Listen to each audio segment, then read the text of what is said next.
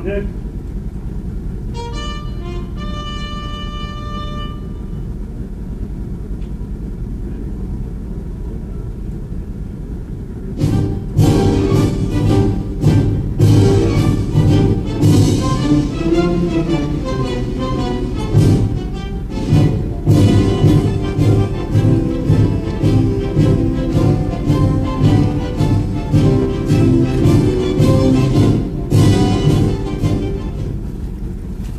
Good morning and welcome to today's ceremony. We also welcome those attending virtually. Ladies and gentlemen, welcome to the Transfer of Authority Uncasing Ceremony, in which the authority of U.S. Marine Corps Forces Northern Command is assumed by Lieutenant General Robert F. Hedelund, Commander, U.S. Marine Corps Forces Command, Commanding General, Fleet Marine Force Atlantic. Ladies and gentlemen, please rise for the entrance of the official party and remain standing for invocation of the playing of national anthem and honors.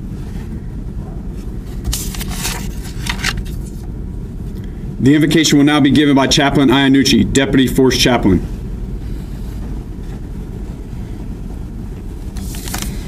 Let us pray. Almighty God, as we begin this ceremony, we invoke the power and presence of your holy name. As command of Marfor North passes from General Bellon to General Hedelund, we are reminded of the leadership and responsibilities, the commitment and sacrifices necessary to take on the challenges of today. We pause, Lord, for a moment to thank all the Marines, sailors, and civilians for their hard work and dedication, which made this transition a success. May they feel a reward of a job well done and take pride in knowing that they have helped in passing the mantle of authority onto a team that is ready to assume command responsibilities and to continue their good work. May your spirit always watch over General Hedelund and all of Marfor Com and Marfor North. We ask everything in your holy name. Amen.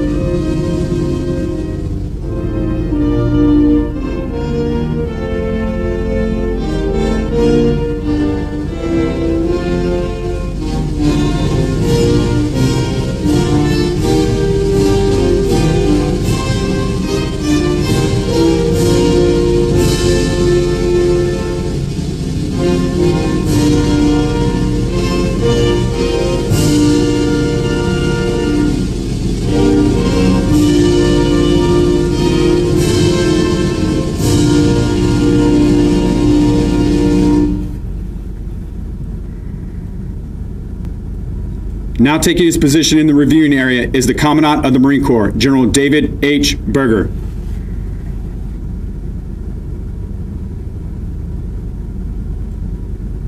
Honors to Commandant of the Marine Corps.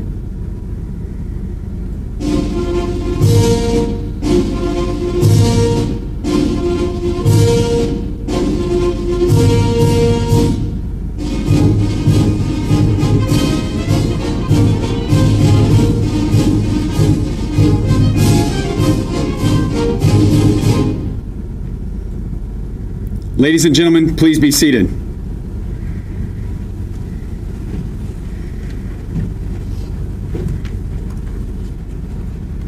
The Commander, U.S. Marine Corps Forces Northern Command, serves as the Marine Corps Service Component Commander for U.S. Northern Command, representing all Marine Corps capabilities and interests while exercising command and control over all assigned and attached Marine Corps forces. These duties include coordinating and validating anti-terrorism programs, force protection, deployments, employment, redeployments, sustainment, and planning for all assigned and attached Marine Corps forces ordered to conduct homeland defense operations and providing defense support of civil authorities. From the earliest of times, warriors used a banner of color and symbols to identify specific units and to serve as a rallying point for the troops. The battle colors of Marine Corps units symbolize the authority and accountability of command.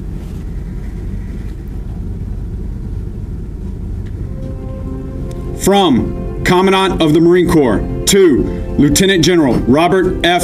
Hedelund, Commander, U.S. Marine Corps Forces Command, Commanding General Fleet Marine Force Atlantic, effective 09 8 December 2020. You will assume command of U.S. Marine Corps Forces Northern Command. Signed, David H. Berger, General, United States Marine Corps, Commandant of the Marine Corps.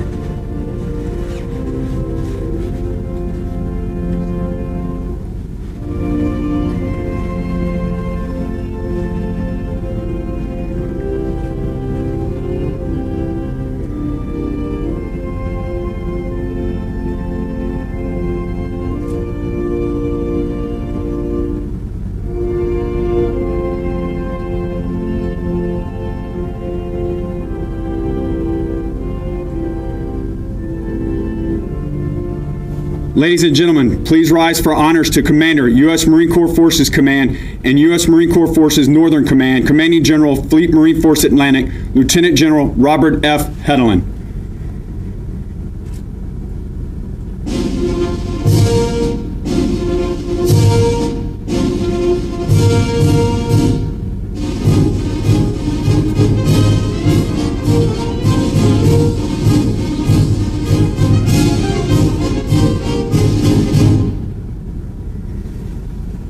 Ladies and gentlemen, please be seated.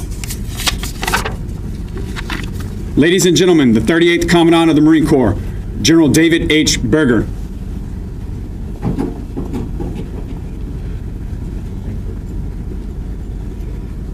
Well, first of all, uh, good morning to everybody, and it's really good to see uh, General VanHerck and uh, Admiral Grady and all the folks that we can't see on the on the screen. But I think even though this was not the ceremony that you and uh, General Bellon probably had envisioned originally, nor I or or General VanHerck, I think is still the way the Sergeant Major and you uh, unfurl the colors. The ceremonies that we do matter. So I'm glad that you and uh, General Bellon held to the, the right way of doing a proper transfer of authority. It's the, it's the right way to do it. Um, let me start off, first of all, by thanking you for making the trip here and being here personally, uh, General VanHerck, because it means a lot when the combatant commander is on the, on, on, the, on the scene for a transfer like this. It's significant.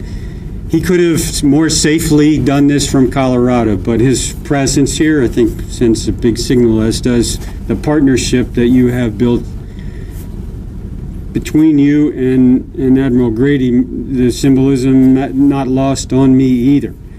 And the fact that all three of you are in the front row, pretty. If there was one picture, in other words, you could boil this whole ceremony down to one picture and to say this is what America's defense looks like, it's probably not a bad picture. The front row, like this is, this is a don't mess with us sort of a, sort of a day. Um, I thank also. I'm grateful for all the hard work from and the leadership from General Dave Bellon and his team in in, in New Orleans. He had the mission of handing off a, a, task, a responsibility. And although I think it's one thing to gain it, to accept it, and it's exciting and it's learning, it's another thing to own it and without dropping anything on the floor, hand it off properly. And, and the two staffs working together without, frankly, without me interfering or our headquarters Marine Corps getting in the way was a wonder to watch. When, when two staffs of professionals can take a mission and, and without any micromanagement or detailed guidance, just sort through it all and lay it all flat. Very heartwarming for a leader just to watch two other leaders and their staffs work through things. And in six months, there's there's absolutely nothing that I did to it, to speed it up or to or to help. You you didn't need it, and I, I attribute that to just really two great leaders and their senior enlisted uh, leaders and their staffs just working as two professional teams. So I'm thankful for that. My, I won't speak long this morning. I'll just highlight one aspect. If you listen to the um, the mission of Marfor North, it probably, if you weren't accustomed to that kind of a mission, seems like a pretty wide problem set to tackle. And and as General VanHerck knows better than anyone else in the room, that's that's intentional. It's not by accident. Defending this country from from Northern Command's perspective and its components, I think, is a wide portfolio. It's a it's it's diverse. It's wide on purpose. I think it's a natural fit for this command.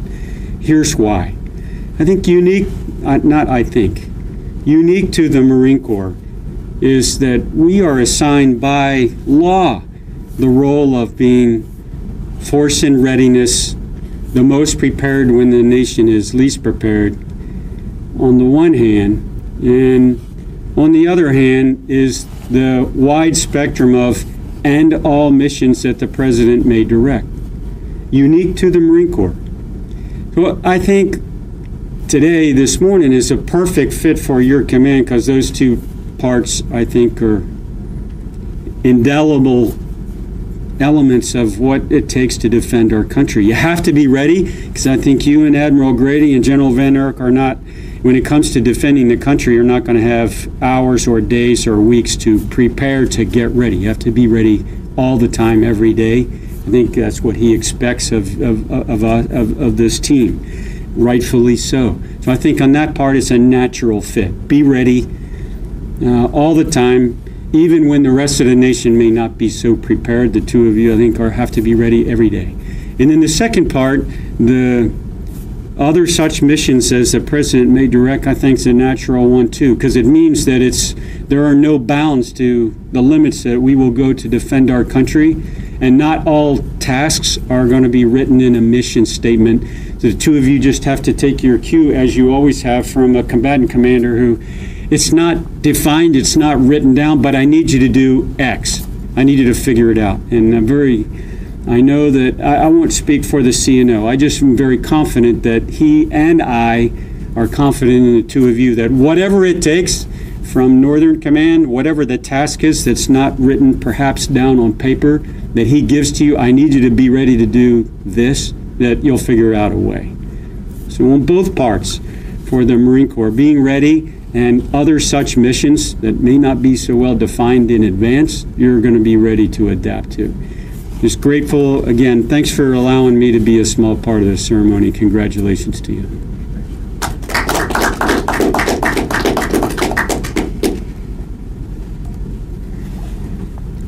Ladies and gentlemen, Commander, North American Aerospace Defense Command and United States Northern Command, General Glen Dan D. VanHerck.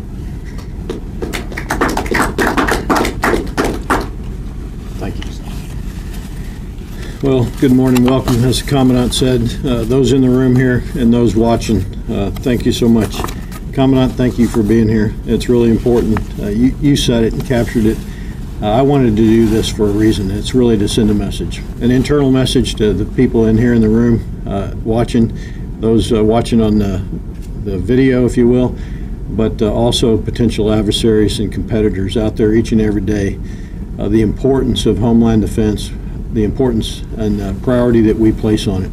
And so I, I appreciate you doing that, uh, Commandant. Really, really appreciate it. Admiral Grady, good to see you again. Thanks for hosting me last night. Appreciate you being here, General Hedelund. Uh, Sergeant Major Black, thanks for coming down as well, and you and uh, Sergeant Major Wiggins for the support uh, to make this happen as well. It, you were instrumental in uh, in helping get this here. The Commandant uh, identified the the are working together. Uh, my Northcom team, um, I don't think we were necessarily hands-on as much. We turned a, a couple of commands loose uh, that allowed this to happen. May, maybe Fuzzy has a different perspective, but I, I think uh, that, that we got here uh, pretty efficiently and effectively. So I sincerely appreciate the, the work here.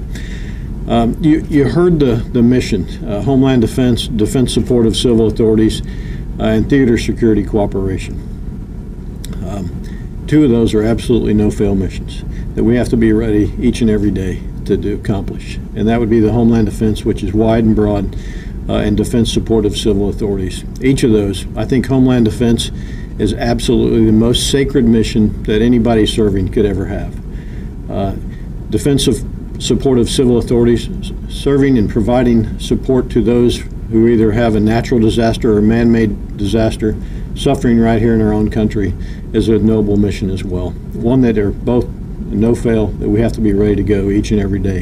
And with regards to theater uh, uh, security cooperation, uh, that is critical as well. Uh, although I don't have a lot of countries in North Com- uh, Northern Command, uh, Canada, Mexico, and the Bahamas, uh, certainly very influential in defense of the homeland. And I'm going to charge you with develop, developing those relationships as well. The Commandant alluded to it, but General Bellon and team at uh, MARFORRES did an incredible job uh, supporting U.S. Northern Command.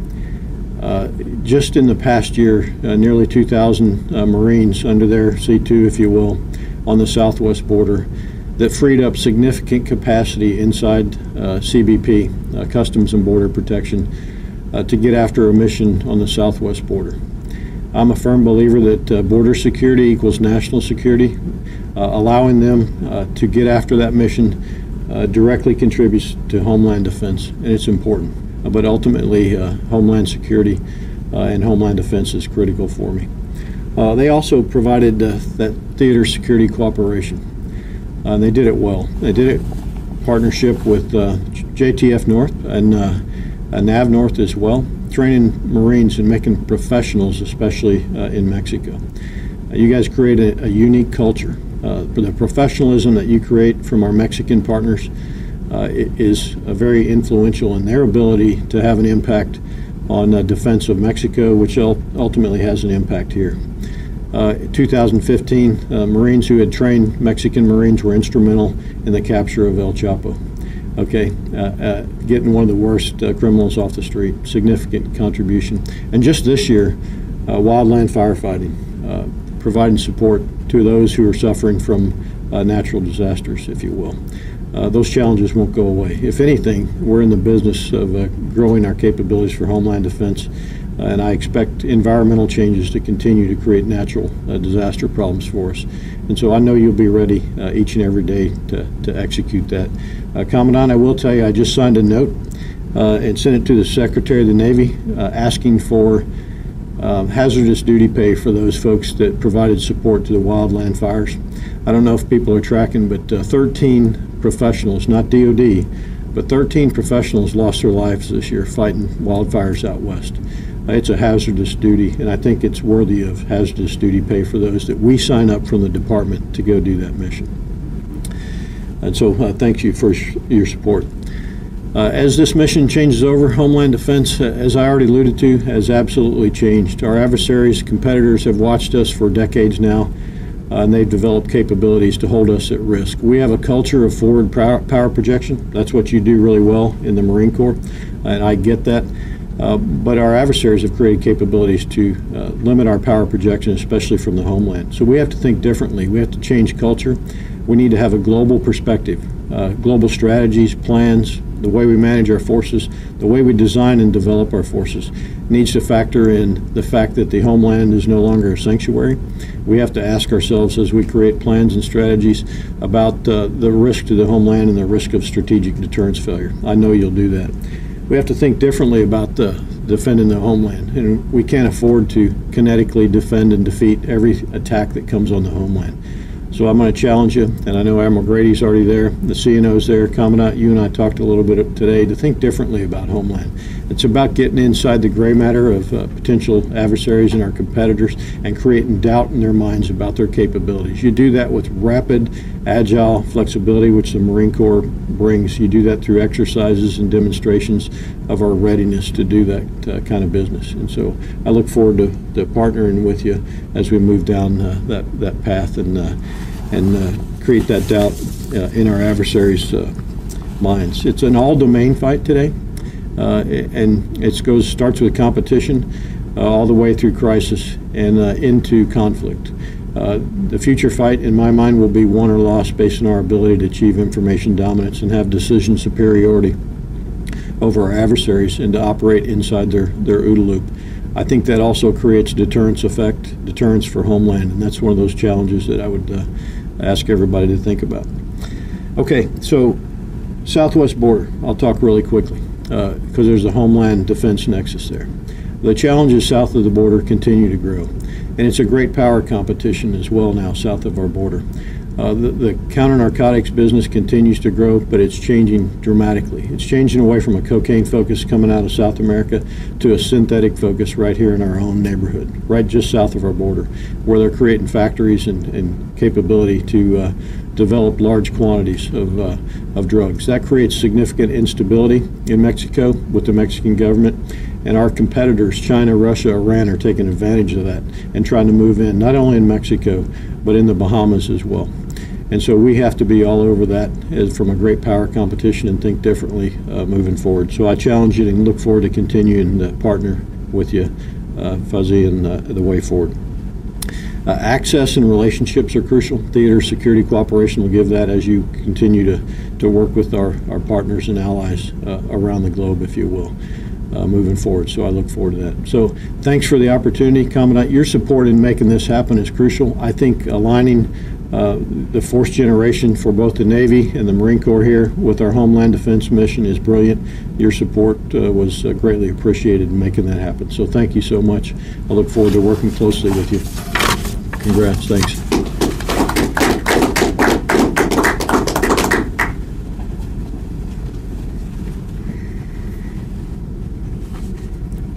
Ladies and gentlemen, Lieutenant General Robert F. Hedelund.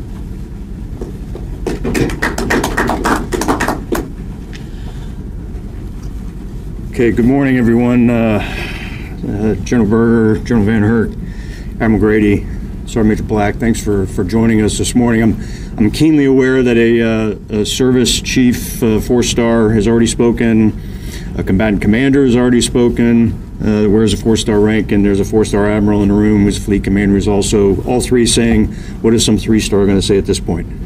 Uh, but I, I, think it's important that uh, that I thank those who have made this possible and uh, the work that has gone on from my predecessor in this command, uh, uh, General Bellon.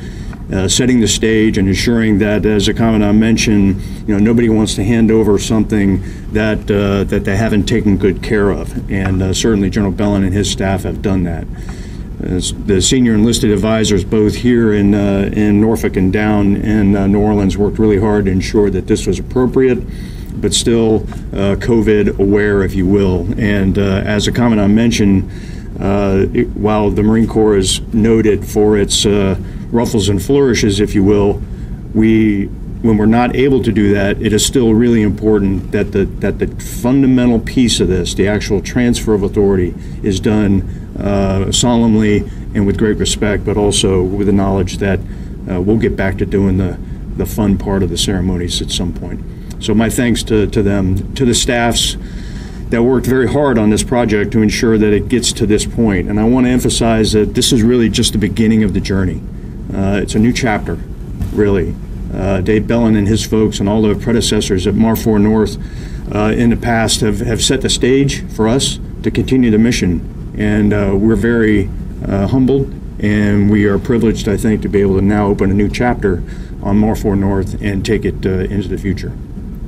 I think our relationship here in Norfolk and my relationship with, with Admiral Grady and with Fleet Forces Command has really set the stage for getting the most out of that relationship.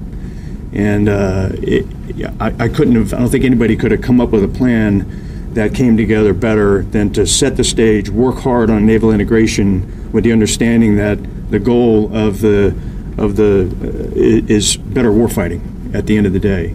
And the commandant's vision of uh, force design uh, enables that and allows us to ensure that we take full advantage of each other's capabilities. And now with the the opportunity now to really explore uh, a, a, full, uh, fully fledged GFMIC uh, in the NORTHCOM AOR, I think is really exciting going forward.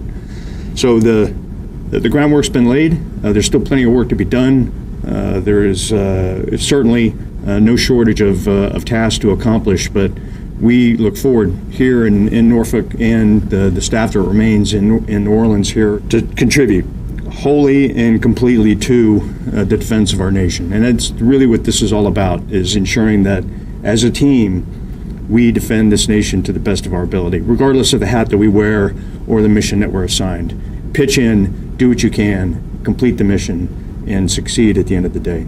So, gentlemen, thank you for attending this morning. Thanks to those who have joined us both virtually and in person, and I look forward to working hard as a uh, as an adequate team member of uh, of this team. Thanks very much. Semper Fi.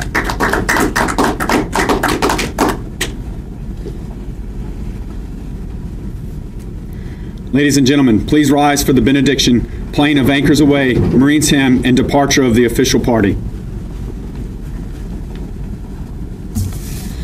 Let us pray. Lord God, now that command authority has transferred to General Hedelund, we ask your Spirit to watch over him so he can lead wisely to ensure the safety and effective employment of all Marines, sailors, and civilians entrusted to his care. We thank you, Lord, for General Bellon's leadership, and we wish him Godspeed as he continues his duties as commander of MARFORRES. Lord, we also remember all the men and women who are deployed and away from their families during this holiday season and ask you to watch over them and bring them home safely. We ask everything in your most holy name. Amen.